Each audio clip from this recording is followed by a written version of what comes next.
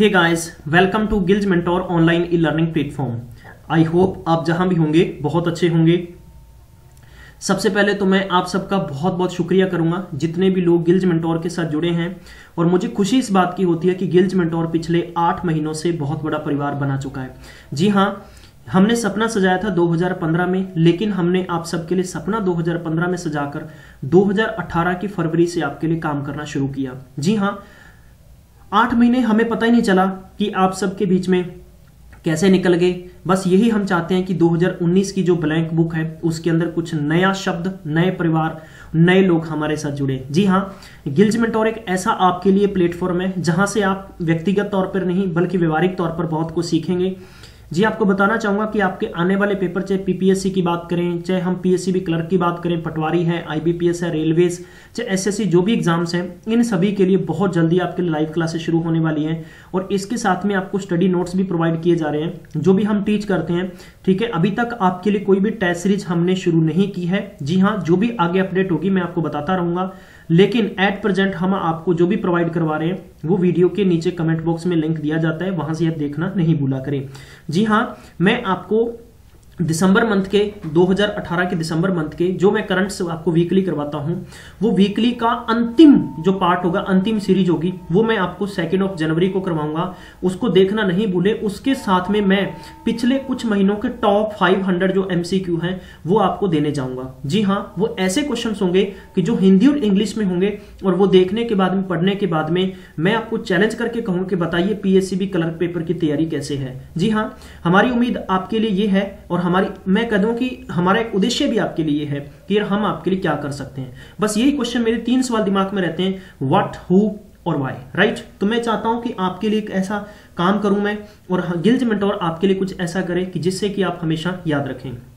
Punjab government के जितने भी पेपर्स हैं, उम्मीद करते हैं कि 2019 में कंडक्ट हो जाएँ और नई भर्तियों का इंतज़ार कर रहे हो, वो भी आपका सपना साकार हो जाए। जी हाँ बताना चाहूँगा कि पंजाब का जितना भी करंट अफेयर है, चाहे हम बात करें गवर्नमेंट स्कीम्स लॉन्च की गई हैं, दो या अठारह की बात करें आफ्टर दैट पंजाब की हिस्ट्री ज्योग्राफी जो भी है, इसके हिस्ट्री के जीके के क्वेश्चन हैं, इन सभी के लेक्चर्स हमने कवर कर दिए हैं डिस्क्रिप्शन बॉक्स में लिंक दे दिए वहाँ से जाकर देखना नहीं भूलें राइट उसके बाद में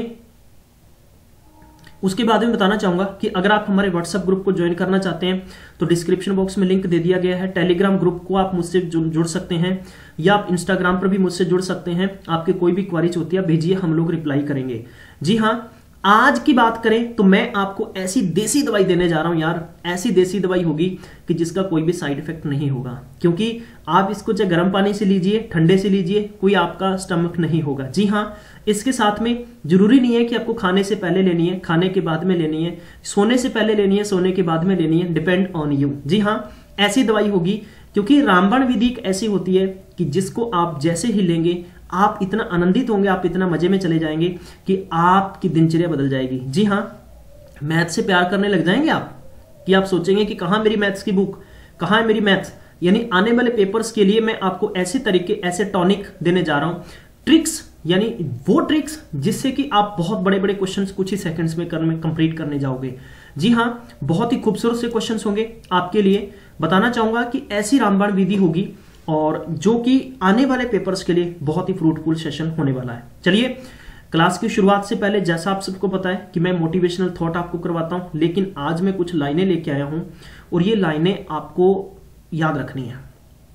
नया साल एक खाली पेज की तरह है एक खाली ए, मैं कह दूँ कि कॉपी की तरह है। आप इस बुक में अपना पेन उठाइए इतना अच्छा लिखिए कि याद रह जाए लोग आपको याद रखें। और इतना अच्छा लिखिएगा लिखने का मतलब कि जो आपकी तीन सौ चौसठ, तीन सौ पैंसठ, क्योंकि तीन सौ चौसठ मैंने इसलिए बोला है कि आज का दिन निकल गया है। और ये भी मैं पूछने वाला हूँ, यार, आज का दिन कैसे स्पेंड किया आप सबने? जी हाँ मुझे बताइएगा कमेंट बॉक्स में वेट करूँगा मैं किस, किसने क्या क्या लिखा है। चलिए, बात करता हूँ कि इस बुक में इतना खूबसूरत लिखो कि लोग इस बुक को पढ़ें तो उन्हें ये हो कि यार वाह, क्या खूबसूरत ज़िंदगी जी है इसने। और इस तरह से हमारा प्रयास बस ये है एजुकेशन में आप सबके लिए कुछ करना और हमारा ये सपना है तो गिल्स मेंटोर आपके लिए साकार करता रहेगा। चलिए, पहला क्वेश्चन आपको स्क्रीन पर दे दिया गया। ये रहा। ऐसे क्वेश्चंस बहुत इंपॉर्टेंट है। आप में से कि ऐसे विद्वान बंधु हैं, जिन्होंने मैथ्स बहुत अच्छे से कर रखा है। कई ऐसे भी हैं जिनको मैथ्स से बहुत डर लगता है। देखो भाई, लोग सोचेंगे कि यहाँ पर मैंसुरेशन के क्वेश्चंस उठाए हैं। ये सारे के सारे क्वेश्चंस मैंसुरेशन के लिए है। मैंने आपको पहले कहा था कि मैंसुरेशन मैं आपको सिर्फ़ तीन ट्रिक में कंप्लीट करवाने वाला हूँ। हालाँकि फॉर्मूलेस अलग से हैं, वो आपको याद करने ही पड़ते हैं। ये जो देसी दवाई है, कहाँ कहाँ अप्लाई होगी? सुन लो पहले। ट्राइंगल है। ट्राइंगल की बात करें तो राइट एंगल ट्राइंगल है, चाहे आइसोस्केल ट्राइंगल है, चाहे इसके बाद में स्केलन ट्राइंगल है। इसके बाद में आता है स्क्वायर ठीक है? इसके बाद में आता है सर्कल इसके बाद की बात करें मेरे प्यारे बंधुओं सर्कल की बात की बात करें तो हम लोग सोचेंगे रेक्टेंगल के लिए।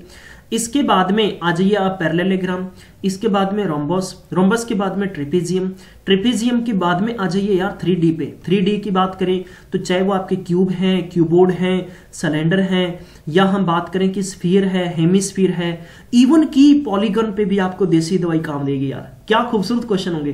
देखो कितने ज़बरदस्त मज़ा आएगा आप सबको। देखो, पहले मैं एग्ज़ाम्पल देता हूँ। कि अगर मैं एक रेक्टेंगल बना लेता हूँ, मैंने छोटा सा रेक्टेंगल बनाया, यार मेरी है ना ड्राइंग अच्छी नहीं है, थोड़ा सा आप एडजस्ट कर लिया करो।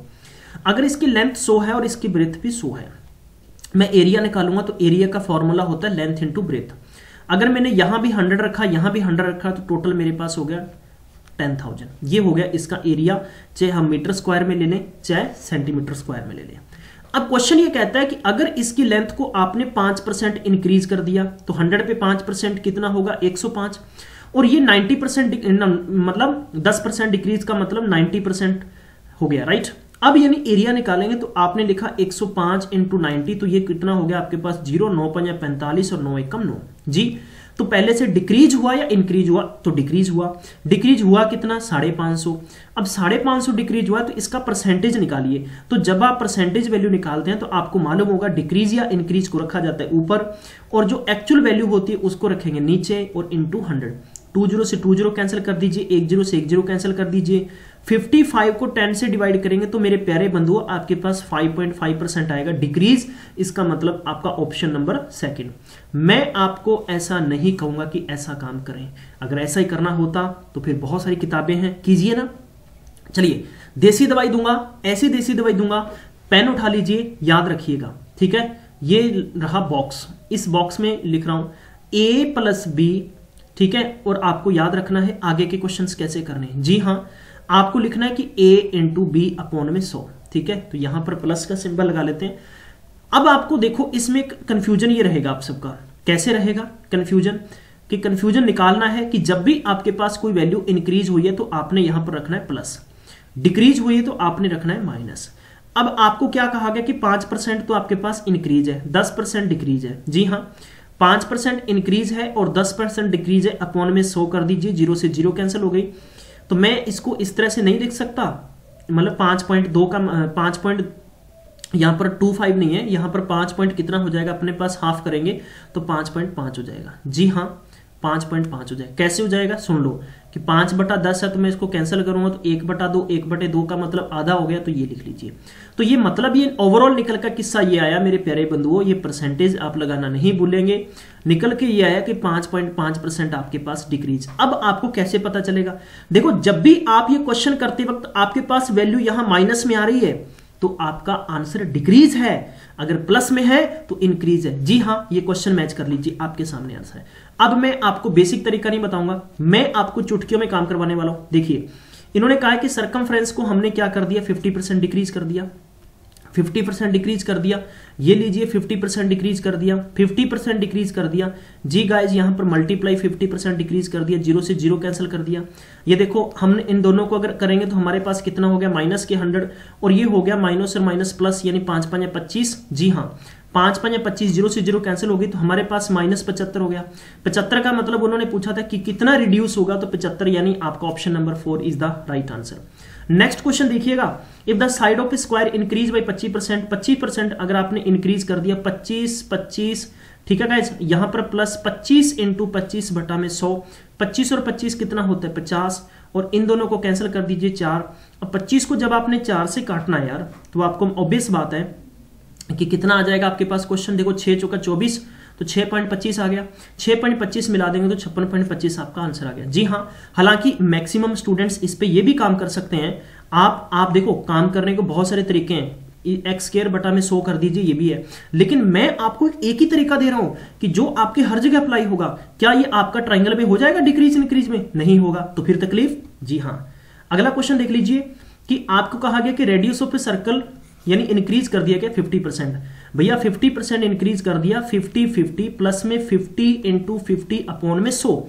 जी हाँ फिफ्टी फिफ्टी कितना हो गया? सो, ज़ीरो से ज़ीरो से पाँच, पंजा, पच्चीस, एक सौ पच्चीस आपका ऑप्शन नंबर फ़र्स्ट जी हाँ अगला क्वेश्चन देखिएगा मेरे साथ। Length of rectangle increase 20 percent decrease 20 percent, देखो, इन अब ये कहेंगे लोग, एक बार स्टूडेंट था, उसने मैंने ये क्वेश्चन पूछ लिया। सर बोले, अगर 20 परसेंट बढ़ गई 20 परसेंट कम होगी बोले, ज़ीरो है। ठीक है? मैं कहूँ ज़ीरो नहीं है? वो बोला ज़ीरो है। बोले, दोनों खत्म हो गई तो आप भी ऐसा काम नहीं करें। बीस परसेंट इंक्रीज मैंने क्या कहा कि A plus B A B plus A B upon में सो, ठीक है? यहाँ पर देखो, इन दोनों के बीच में मल्टीप्लाई गुणा है। जोड़ मत देना, गलती नहीं करनी। दो बार देख लिया करो, किसी लेक्चर को, नहीं समझ में आता। 20 इंक्रीज हुआ है 20 डिक्रीज हुआ है। जी हाँ मैंने यहाँ पर प्लस कर दिया तो माइनस है। इसके लिए क्षमा चाहूँगा। जी हाँ फिर हम लोग क्या करेंगे? मल्टीप्लाई 20 इंक्रीज है इंटू बीस डिक्रीज है अपॉन में सो। ये लीजिए। देखो, भाई 20 प्लस के हैं और 20 माइनस के हैं। तो दो दूनी कितने हो गए? चार। चार किसके हो गए? माइनस के। इन दोनों की बात करूँ प्लस माइनस ज़ीरो तो चार परसेंट आपके पास क्या आया? डिक्रीज ऑप्शन नंबर सेकंड बिल्कुल करेक्ट होगा। जी हाँ। अगला क्वेश्चन ले लेते हैं। नंबर सिक्स क्वेश्चन यहाँ पर इंक्रीज की बात हो रही है तो आप ऑब्वियस बात है इंक्रीज होगा तो 125 परसेंट ही होगा। चलिए, अगला क्वेश्चन यहाँ पर कहा गया है कि इंक्रीज कर दिया गया 10 परसेंट। ठीक है गाइज़ तो आपको ये पूछा गया कि एल्टीट्यूड इंक्रीज कर दिया 10 percent while the area remains the same the corresponding base will be decrease कितना डिक्रीज होगा? जब भी आपके पास 10 परसेंट इंक्रीज है तो डिक्रीज कितना होगा? ये लिख लिया कैसे करेंगे आप? 10 परसेंट, जी हाँ ये 10 है। ये हो गया 10 ये हो गया 10 कर जाएँगे बस, ठीक है? ये लीजिए। कितना हो गया आपके पास? इन दोनों को आपने इंक्रीज किया है 10 और दस, बीस, और ये हो गया आपके पास एक, यानी 20 और एक कितना हो गया? 21 अब यानी ये क्वेश्चन पर्टिकुलर कैसे होगा? तो ये पर्टिकुलर मैंने जो आपके सामने आंसर निकाला है। हो सकता है आप में से ज़्यादातर बच्चे ऐसे आंसर निकाल के कंफ्यूज होकर बैठ जाएँगे, सर, आपने तो ये बताया था। लेकिन इस क्वेश्चन के अंदर पर्टिकुलर जो एक लाइन है, वो यही है कि रिमेन्स दस वो सेम रहता है। तो आप ऐसे क्वेश्चन में क्या मानेंगे? दस परसेंट इंक्रीज है और एक्स परसेंट डिक्रीज है। जी हाँ यहाँ पर डिक्रीज आपको दे रखा है। तो उन्होंने कहा है कि will base will have to be decrease तो आपने क्या काम करना है? इसी तरीके से बिल्कुल घबराए नहीं। आपके पास टेन एक्स बाई सो हो गया। ठीक है तो वो सेम रहता है। तो जब भी आपके पास जो, यहाँ पर वैल्यू निकालनी है तो आई थिंक आप आंसर निकाल चुके होंगे। मैं आपको दूसरा तरीका भी बताता हूँ। जैसे सौ का अगर आप दो निकालेंगे तो फिफ्टी परसेंट हो गया। सौ का तीन परसेंट निकालेंगे तो तैतीस पॉइंट तीन हो गया। सौ का चार निकालेंगे तो पच्चीस हो गया। सौ का पाँच निकालेंगे, बीस हो गया। सौ का छह निकालेंगे तो आपके पास कितना हो गया? सोलह, छह का छियानवे, दो बाई तीन परसेंट हो गया। फिर उसके बाद में सौ का सात निकालेंगे तो चौदह में इतना हो गया। सौ का आठ निकालेंगे, बारह बारह परसेंट लगभग हो गया। सौ का नौ निकालेंगे तो आपके पास कितना हो गया? एक बाई नौ परसेंट हो गया। और सौ का दस निकालेंगे, दस परसेंट हो गया। जी हाँ और उसके बाद में हो गया कि सौ का ग्यारह परसेंट निकालेंगे तो आपके पास नौ, वन बाई ग्यारह परसेंट हो गया। जी हाँ अगर दस परसेंट पहले से कोई इंक्रीज है तो कितने परसेंट डिक्रीज होगा? तो ऑब्वियस बात है, आप ये अंडरस्टूड कर लिया होगा इस क्वेश्चन को तो आपके पास आंसर नंबर क्या हो जाता? थर्ड जी हाँ बहुत ही अच्छा क्वेश्चन है। तो आप इस तरह से थोड़ा सा क्वेश्चन को प्रैक्टिस ही प्रैक्टिस के तौर पर करवाएँगे तो आपके लिए अच्छा होगा। जी हाँ अगला क्वेश्चन बहुत ही खूबसूरत है। यहाँ पर कहा गया कि रेडियस एक परसेंट बढ़ा दी गई है तो बताइए कि एरिया भी कितने परसेंट बढ़ेगा। एक मैं चीज़ बताता हूँ, जब भी आपको सर्कल के अंदर, यानी डायमीटर अगर बढ़ने की बात है, या आपको रेडियस बढ़ने की बात है, या देखो, अगर इंक्रीज की बात है तो डेफिनेटली एरिया भी इंक्रीज होगा। कभी भी डिक्रीज नहीं होगा। अगर डिक्रीज दे रखा है तो फिर एरिया डिक्रीज होगा। अब आप कहेंगे एक परसेंट है तो इसका मतलब कैसे लिखेंगे? देखो, one into one one plus one, फिर वन इंटू वन अपोन में सो। जी हाँ लिख लिया। वन और वन कितना हो गया? टू ऊपर हो गया, एक को एक से मल्टीप्लाई किया तो एक बटे सो। एक बटे सो का मतलब कितना हो गया?